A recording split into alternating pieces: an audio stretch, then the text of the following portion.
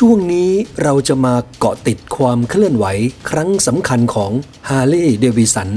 ในการเตรียมแผนแนะนำรถมอเตอร์ไซค์รุ่นใหม่ นั่นก็คือ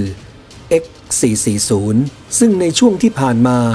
ผมได้รายงานข่าวให้คุณผู้ชมทราบไปแล้วครับว่า จะมีการเปิดตัวอย่างเป็นทางการที่ประเทศอินเดีย ในวันที่ 3 กรกฎาคม พศ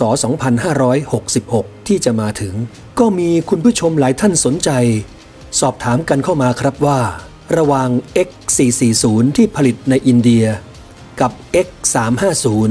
และ X500 ที่ผลิตในประเทศจีน คิดว่ารุ่นไหน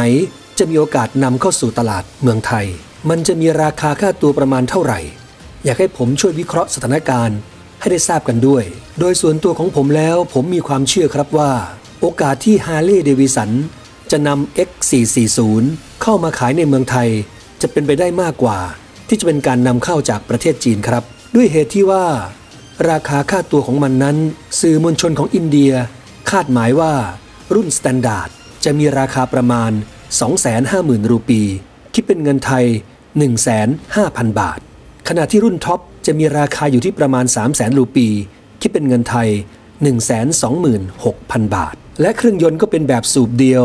440 ซีซี ระบายความร้อนด้วยอากาศและ oil cooler ซึ่งจะมีความคลาสสิกมากกว่า X350 และ X500 ที่เป็นแบบ 2 สูบเรียง ระบายความร้อนด้วยน้ำ ซึ่งหลายคนไม่ค่อยชื่นชอบเท่าไหร่นัก อีกทั้งราคาค่าตัวของ X350 ที่ประเทศจีน เริ่มต้นที่ 166,700 บาท ขณะที่ X500 221,600 บาท ถ้ามีการนำเข้าสู่ตลาดเมืองไทย ราคาทะลุเกินกว่า 300,000บาทอย่างแน่นอนครับ ในขณะที่ X440 ของอินเดียนั้น ราคาเริ่มต้น 15,000 บาท ถ้ามีการนำเข้าสู่ตลาดเมืองไทย ผมเชื่อว่าราคาของมันจะอยู่ระหว่าง 200,000 ถึง 250,000 บาท หลายคนฟังราคาแล้วอาจจะไม่ค่อยชอบใจเท่าใดนัก เพราะว่าถ้าเปรียบเทียบราคากับ Royal Enfield เราจะเห็นถึงความแตกต่าง ในเรื่องของการตั้งราคาที่ไม่เหมือนกัน Royal Enfield นั้น วางราคาไว้ต้องการจะขายจำนวนมาก บวกกับวิธีการนำเข้าของ Royal Enfield ที่สามารถทำราคาได้ต่ำลง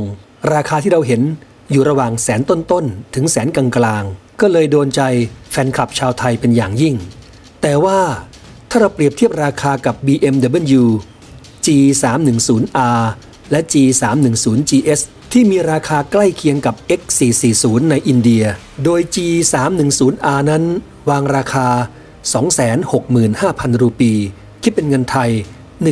111,000 บาท แต่ว่าราคาในเมืองไทยขณะนี้อยู่ที่ 255,000 บาท และ G310GS ราคาที่อินเดีย 35,000 รูปี คิดเป็นเงินไทย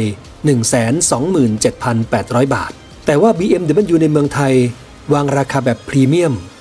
275,000 บาท ก็จะเห็นว่า ราคานั้นแตกต่างกันมากกว่า1เท่าตัว ที่เป็นเช่นนี้ก็เพราะว่า วิธีคิด วิธีการบริหาร รวมถึงนโยบายของ BMW ในเมืองไทย ต้องการให้แบรนด์นั้นเป็นพรีเมียม จึงได้ปรับราคาให้สูงขึ้น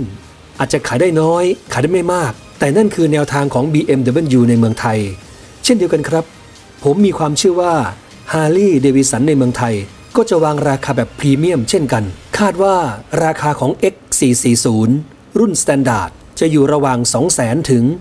250,000 บาท Harley Davidson คงไม่ตั้งราคาไปท้าชนกับ Royal Enfield อย่างแน่นอน หลายคนคาดหวังที่ราคา 150,000 170,000 ผมบอกเลยครับว่า เป็นไปไม่ได้สำหรับ Harley Davidson ในเมืองไทย ตลอดช่วงเวลาหลายปีที่ผ่านมา ยอดขายของ Harley Davidson ในเมืองไทย ถือว่าเป็นค่ายเดียว ในแบรนด์พรีเมียมที่มีการปรับตัวสูงขึ้นอย่างต่อเนื่อง บางปีอาจจะลดต่ำลงบ้างเล็กน้อย แต่ก็จะปรับตัวสูงขึ้นไปอีก ยอดขายของ Harley Davidson ในปี 2565 ที่ผ่านมาทำได้ 1,759 คัน และในปี 2566 นี้ผ่านมา 4 เดือน Harley Davidson ทำตัวเลขการขายเพิ่มขึ้นถึง 800 คัน คาดหมายได้ว่า จบปี 2566 จะเป็นปีแรกที่ Harley Davidson มียอดขายทะลุเกินกว่า 2,000 คัน เป็นครั้งแรก เรื่องราวของ Harley Davidson ในเมืองไทยจะเป็นอย่างไร เราจะมาเกาะติดความเคลื่อนไหวกันต่อไปในโอกาสหน้าครับ